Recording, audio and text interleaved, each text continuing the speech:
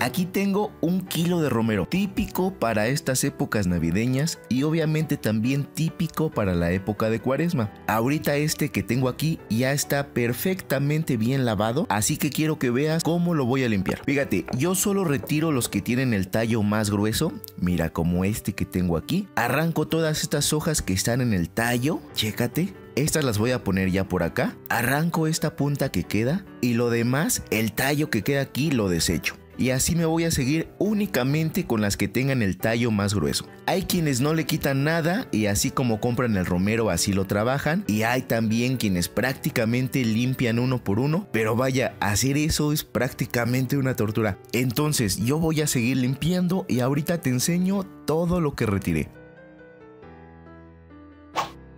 Todo esto que tengo aquí son los tallos que le acabo de sacar al romero. Si te das cuenta, son bastantes. Y checa, es puro tallo grueso. Más o menos me tardé como unos 20 minutos aproximadamente para limpiar un kilo de romero yo solo. Ay, para que le vayas calculando. Ahora fíjate, esto ya no nos sirve. Quiero que veas cómo me quedó. Casi se ve como si fuera pura hoja. Quedó bien limpiecito y ahora sí, ya listo para irnos a la cocción.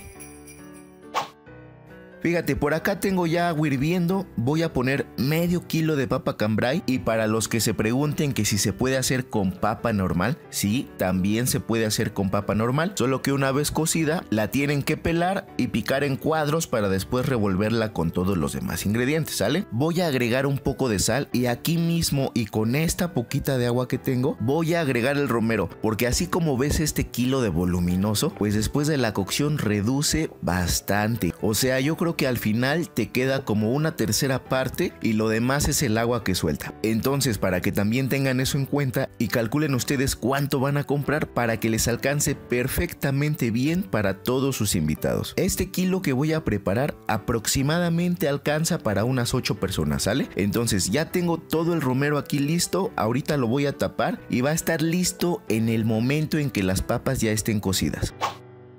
Ya tengo aquí listo esto y quiero que veas cuánto redujo. Prácticamente salió más agua que romero. Pero no te me espantes, esto es normal. Ahorita lo que voy a hacer es que voy a escurrir el romero. Chécate, voy a poner este plato aquí al lado. Voy a agarrar un poco de romero con las manos y prácticamente lo voy a exprimir. Es bien importante que trates de sacar la mayor parte del agua para que cuando los mezclemos con los demás ingredientes no te queden unos romeros todos aguados. Entonces fíjate, más menos así te deben de quedar.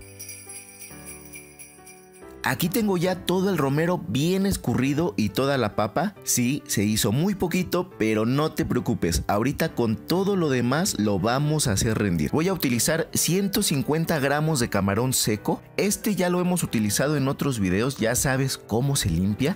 Pero por si no sabes, por si las flies, se le quita la cabeza, las patitas que todavía trae aquí,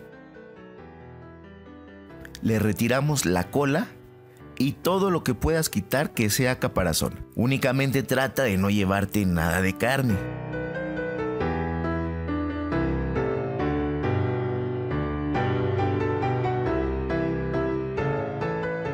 Fíjate, también quitamos esta vena que tiene aquí. Y listo, así te quedaría ya perfectamente bien limpio. Ahí está, entonces son 150 gramos de camarón seco, 200 gramos de mole. Este es mole en polvo, puedes utilizar mole en pasta, el mole que tú haces o el que a ti más te guste. No quise enseñarles en esta misma receta a hacer el mole porque iba a terminar siendo un video muy largo y muy complicado. Ahora, hay veces que estos moles que venden, pues la verdad, pues no están tan buenos, ¿sale? Si tú compras tu mole y sientes que como que algo le falta, ahí te va, porque te voy a enseñar a componer tu mole. Hoy no te voy a enseñar a prepararlo desde cero, pero sí te voy a enseñar el secreto para que te quede bien, bien bueno. Ah, y ya por último, también voy a utilizar un trozo de chocolate. Fíjate, para darle más sabor al mole, voy a poner un chorrito de aceite aquí en el sartén. Lo voy a mover para que se distribuya por todo el fondo. Y voy a empezar con 60 gramos de cacahuate. Voy a utilizar también 40 gramos de pepita y 10 medias nueces. Voy a dorar esto con una flama muy bajita y sin dejar de mover para que no se me vaya a quemar.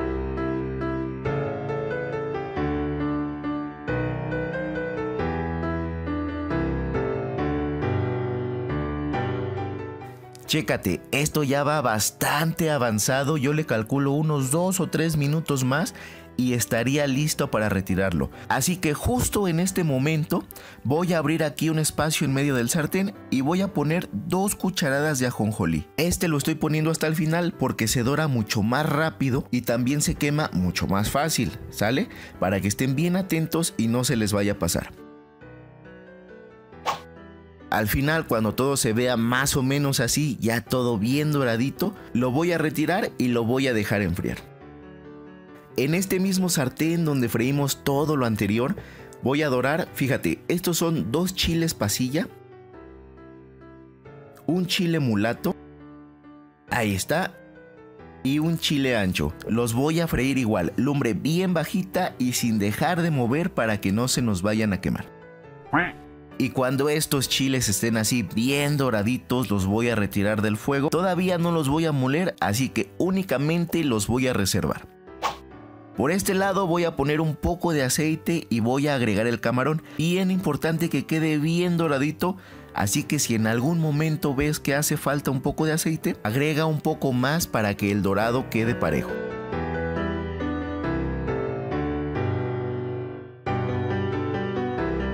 Una vez que lo tenemos así, es momento de agregar el mole y ahorita te vas a dar cuenta cómo esto va cambiando de color y suelta un aroma que ni te imaginas. Voy a mezclar esto perfectamente bien para que se vaya sazonando y chécate lo que te decía, cómo va cambiando de color.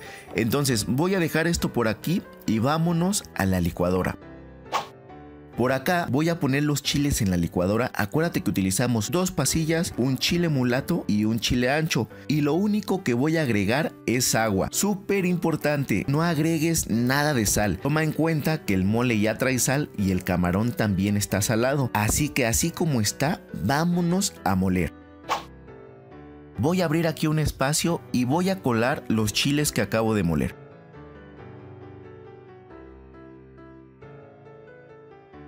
Ahí está. Voy a mezclar todo esto perfectamente bien. Y chécate qué colorzazo está agarrando. Voy a dejar esto aquí sazonando y mientras voy a moler toda la semilla.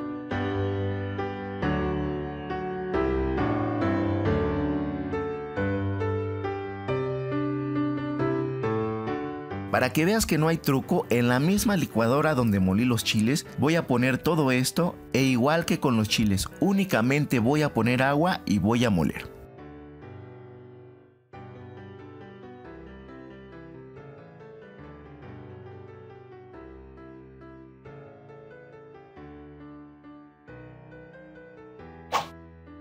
Ahora sí, voy a agregar esto que acabo de moler y voy a mezclar. Y ni te me preocupes por el color. Ahorita que esto vaya avanzando vas a ver cómo vuelve a tomar ese mismo tono como achocolatado. Aquí ya se incorporó todo. Acuérdate que estos pasos del chile y las semillas los vas a hacer si sientes que el mole que compras no está tan rico, ¿sale? Si el mole que compras tiene buen sabor o tú lo preparas, pues no sería necesario y te estaría saltando todos estos pasos. Voy a agregar un pedazo de chocolate, voy a mover y voy a dejar esto en el fuego hasta que suelte el primer hervor.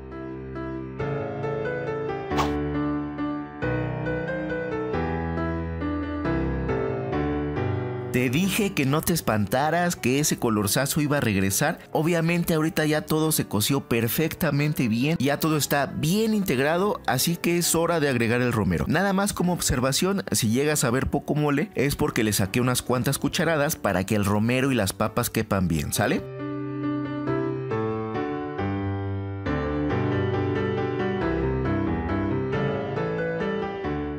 Fíjate, ahí está ya todo el romero y ahora lo que voy a hacer es que lo voy a integrar.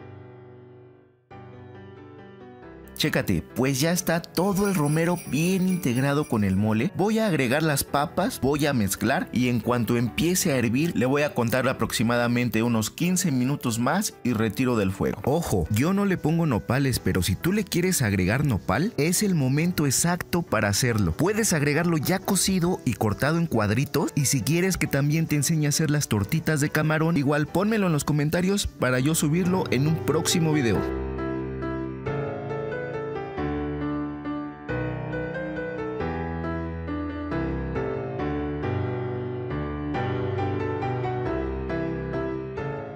Amigos, pues esto ya está listo. A partir de que soltó el primer hervor, lleva 15 minutos. Voy a probar la sal. En caso de que haga falta, rectifico. Y estos romeritos estarían ya listos para la presentación.